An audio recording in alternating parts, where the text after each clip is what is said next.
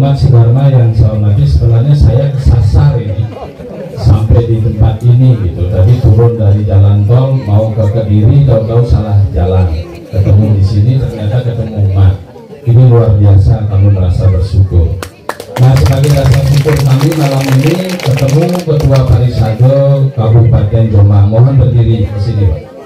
Ketua, ketemu Ketua Panitia Puro mohon ke sini Pak. Ketua Panitia Puronya mana? Tadi ke sini. Mohon didampingi. Saya nggak bawa oleh-oleh. Ini karena kesasar, nggak niatkan oleh-oleh ini. Cuman bawa ini aja di sekedar ini untuk Pak Ketua Parisado semangat melayani umat saya punya 5 juta rupiah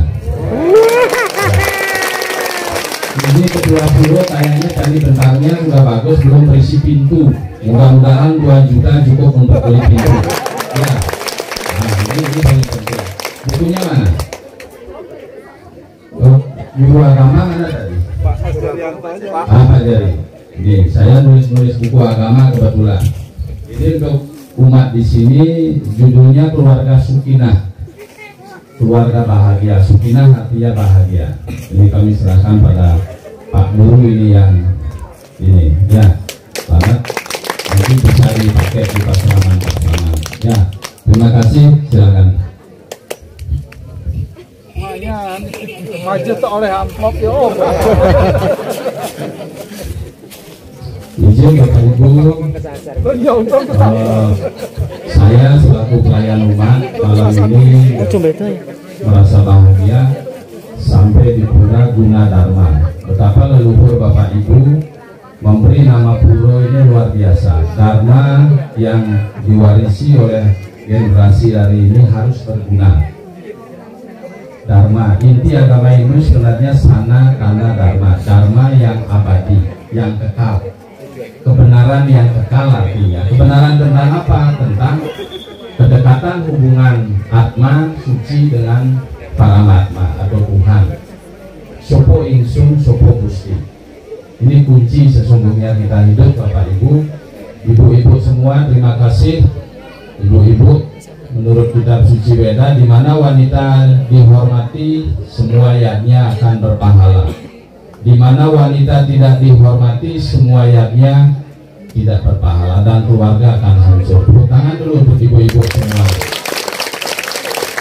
Nah, karena itu mudah-mudahan lewat piodalan di Pura Gunadarma kebenaran yang abadi Sopo Insun, Sopo Gusti kembali sadar kita. Jangan kita pernah berubah baru punya harta sedikit, baru punya jabatan sedikit sudah sombong, makin jauh sama Tuhan. Tidak boleh itu yang diam ini duniawi. Kita hidup ada non duniawi, ada duniawi harus seimbang. Karena itu luar biasa kita harus hormat. Kita punya utang Hindu ada tiga jenis kepada Tuhan yang memberi hidup roh. Atma suci tidak pernah bisa ini kita balas.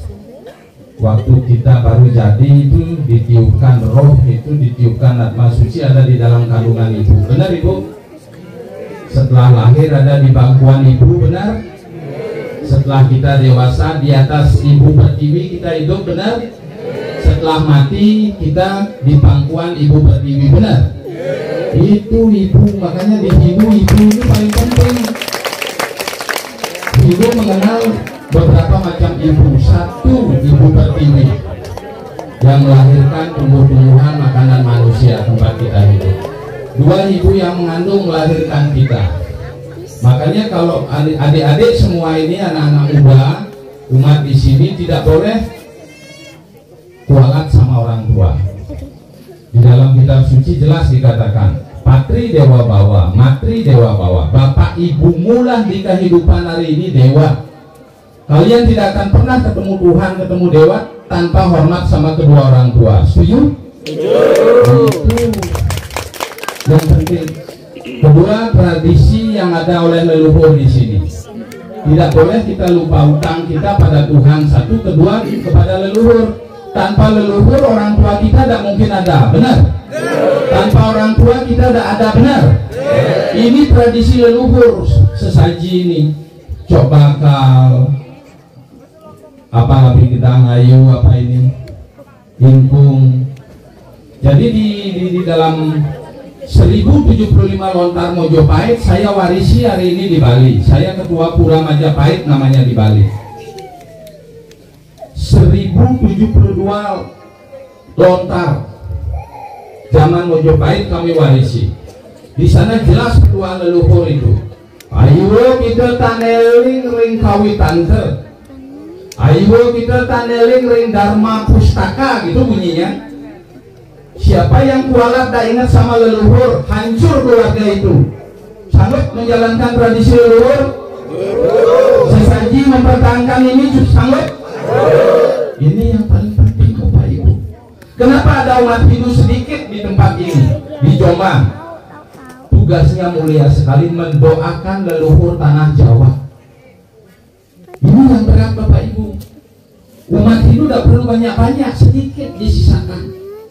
Dulu zaman Mojopahit, Hindu jadi agama negara. Coba baca sejarah. Sekarang kenapa tinggal sedikit? Di Jombang cuma 300 kakak. Ya, yang sedikit ini harus punya tugas mulia mendoakan leluhur tanah Jawa. Ketika manusia sudah meninggal di Hindu, ya roh ini atma suci akan pergi ke tujuh tingkat dunia rohani namanya Sabta Loka, Burloka, Buah Loka, Burbuaswah, Mahar Jana Tapas Satya. Ketika yang masih hidup rajin mendoakan leluhurnya, leluhurnya disampai ke alam ketujuh moksa dia. Pada seribu hari dia moksa. Sanggup mendoakan leluhur? Tepuk tangan dulu. Ini juga berat. Setiap sembahyang subuh orang Hindu itu harus bangun menghadap ke timur. Mana timur? Sini. Gitu kiblatnya harus matahari terbit. Namanya Purwo. Purwo itu timur. Purwo itu artinya kawitan. Wit lahir matahari. Makanya tetua-tetua dulu bicara nah lo bangunnya jangan dilewatin oleh matahari. Nanti rezeki dipatok. Iya. Maksudnya itu biar kita rajin. Kalau di Hindu kitab suci 48 menit sebelum matahari terbit harus sudah bangun. Itu namanya Brahma Muhurta. Waktu terbaik memohon pada Tuhan. Pasti dikabulkan oleh Tuhan. Buktikan sanggup bangun sebelum matahari terbit ini yang paling penting matahari timur. Itu jangan sudah matahari anak-anak. Ini karena saking main game terus tidurnya malam bangunnya juga dilewatin matahari. Gitu ya. Nah jadi sekali lagi apa yang ada hari ini di Pura Gunadarma nanti umat silahkan di sini umat perembuk kalau ingin dipugar Padmasana dengan peringgi ini kalau ingin dibuka silahkan kami siap. Tapi bapak ibu harus gotong royong biar gak pahalanya ke saya saja. Bapak ibu harus nyiapin pondasi Romo Mangku. Pondasi aja ini dipotong segini ini kan sudah. Di sini lagi satu di sana lagi satu. Jadi pengapitnya ada candi Mojopahit kami sudah siapkan. Jika umat ingin jangan saya yang anu. Kalau umat ingin merehab ini digantilah ceritanya kami yang nanggung itu. Bapak cuma nyiapin pondasinya aja. Nah itu untuk di Jombang ini presado ya. Jadi kita tahap demi tahap. Yang penting kadar baktinya yang paling penting umat kita hari ini. Nah jadi sekali lagi kami mohon setiap ada piodalan hari ini tujuannya adalah satu tadi Romo Mangku sudah pembersihan manusia dulu kan tadi natap-natap itu kan kalau di Bali ada namanya biokaon di kaki dulu, mengalanya di perut, parayasita di kepala. Ini biar dibersihkan dulu manusia, baru boleh menghadap yang maha suci. Begitu intinya, maka Romo Manggu tadi sudah luar biasa. Sehingga diharapkan datang ke pura itu kayak kita punya HP, baterainya drop, ngecas ke sini. Dicas, anggap ada cermin di pura ini baru seberapa kita kadar ketakwaan pada Tuhan. Ingat sama leluhur sayang sama orang tua. Yang laki-laki sayang sama istri istri sayang sama anak itu itu maksudnya sehingga pulang dari sini bahagia sukinah semua. Coba sekarang salam bahagianya dulu salam sukinah. Tangan kanan di dada kiri. Ikuti salam sukinah Salam Sukinah. salam sukinah Salam itu kita harus punya keluarga sukinah kalau di muslim sakinah bahagia artinya. Setuju bapak ibu? Jadi kami kira itu aja malam ini yang dapat kami sampaikan. Jadi sekali lagi kita bersyukur pada leluhur memberi nama pura guna dharma. Ingat itu. Dharma itu harus berguna untuk hidup kita. Tidak ada gunanya kita hidup tidak bermanfaat buat orang banyak. Tuhan itu tidak minta apa sebenarnya. Kenapa harus ada sesaji? Karena di kitab suci Patram jadi dibaca oleh anak kita kan sloka itu. Patram Puspam Palam Goyang. Persembahan ini adalah berupa setangkai daun sebiji buah sekuntum bunga seteguk air tidak ada orang Hindu miskin karena sesaji Kenapa digariskan di kitab suci? Maksudnya biar rajin nandur itu maksudnya. Bahan-bahan karena makanan manusia kan tumbuh-tumbuhan. Begitu juga binatang. Kenapa harus ada ingkung leluhur nyiapin ingkung tradisi? Ada juga yang bekakak apa istilahnya itu? Itu maksudnya biar rajin melihara ayam karena itu bisa menjadi sumber ekonomi keluarga. Tradisi ini sudah bagus sekali Bapak Ibu. Jangan ibu-ibu bikin sesaji, tidak punya bunga di rumah, di tetangga metik bunga. Tidak, itu tidak itu yang diharapkan. Kalau senang buat eh, pejati ya nanam di rumah. Nah jadi itu maksudnya tujuan sesaji itu patram puspam. Tidak ada orang miskin karena sesaji yang sederhana. Nah jadi kira-kira itu tradisi ini mohon tetap dijalankan.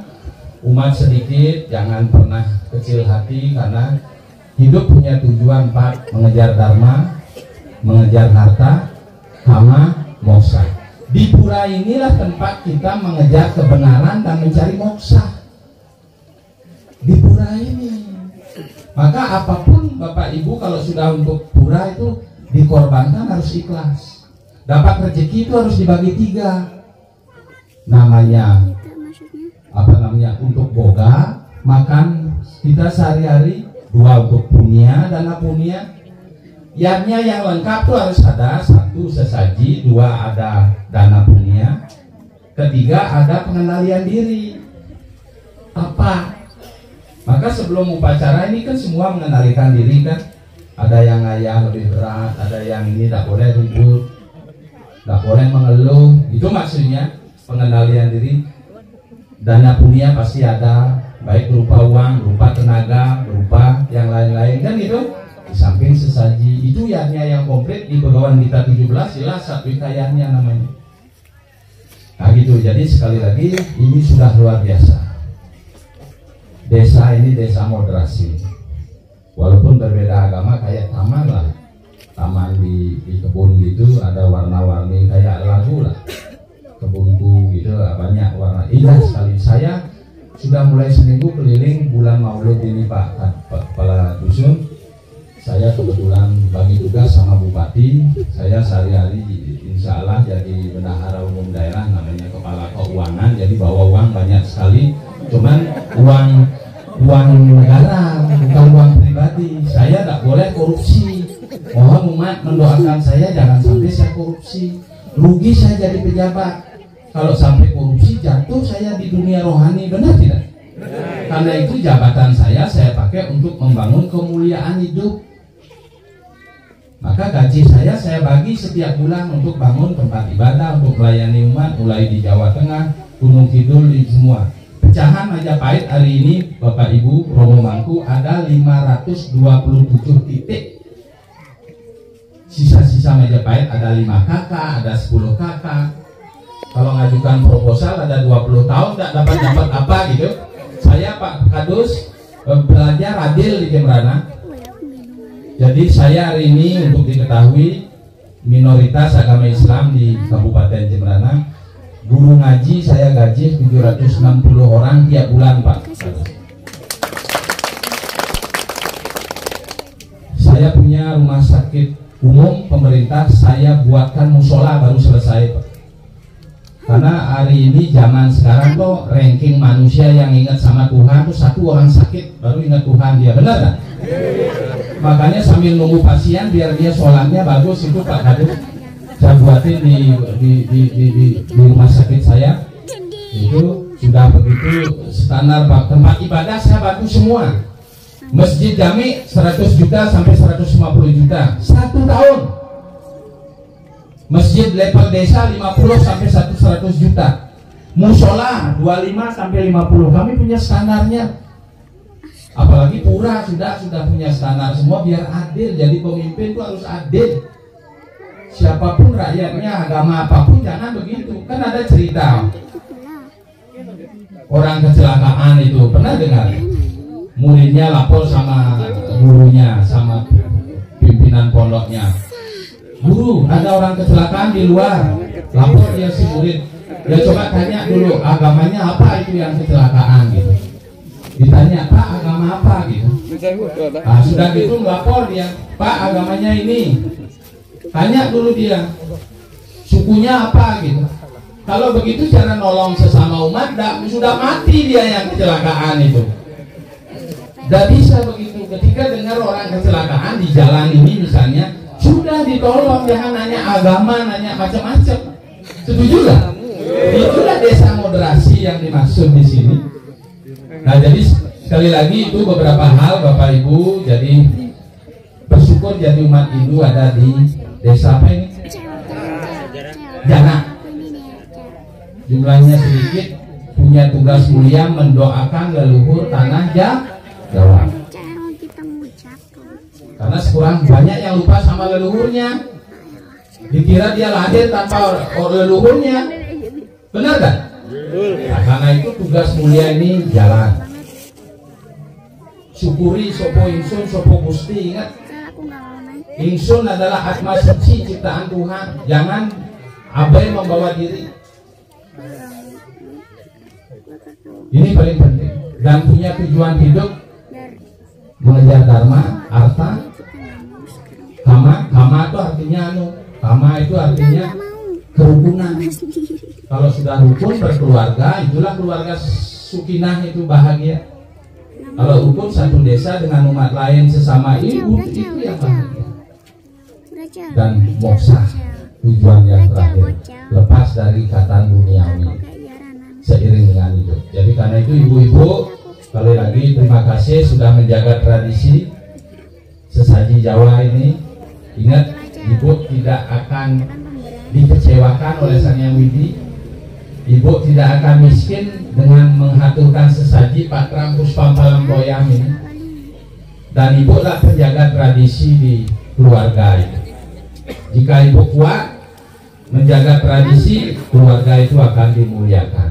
Pastilah apalagi desa ini desa yang makmur harus kita jaga semua itu di dalam ajarannya Pak Kepala Dusun Abdul bin Allah Abdul bin Anas kita adalah hubungan ciptaan Tuhan sesama ini harus bagus. Sesama manusia juga apa pun itu desa moderasi ini harus didukung oleh umat itu semua. Nah itu beberapa hal yang dapat kami sampaikan. Mohon maaf penyampaian ada kurang Romo Mangku semua. Mudah-mudahan Romo Mangku bisa hadir ke teatro nanti ke Bali ada rencana Pak Medowo ada? Di sini ikut gak? ikut. Ah saya tunggu nanti di Jembrana ya. Saya jamu nanti di negara.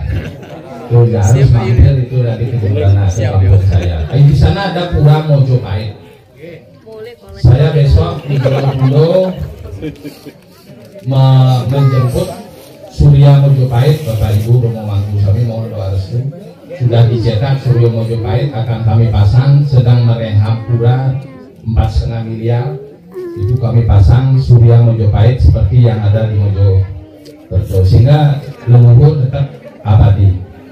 Anunya ornamen ukir-ukiran Dewa Tunausango kan anu Surya Mojopahit itu Dewa Tunausango besok saya ngambil itu setelah acara di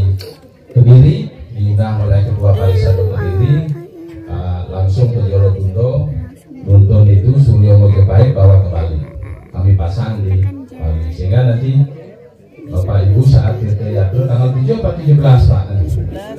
Ah sudah ketemu nanti dengan saya di Jember terima kasih. Kami tutup dengan Pak Santi Om Santi Santi Santi Om. Salam Sukina. Salam, salam Sukina. Ya, terima kasih.